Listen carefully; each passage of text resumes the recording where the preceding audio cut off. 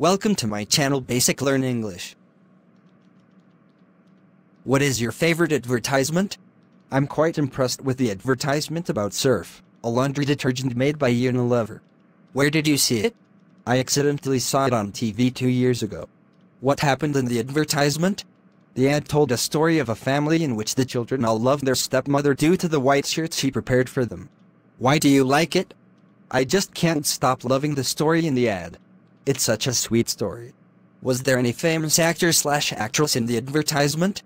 Not at all. The actors were not very well known, I think. Did it attract much attention?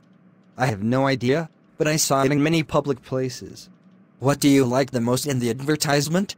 Well, the vivid images and sound effects did attract me. Do you believe in advertisements? Not really.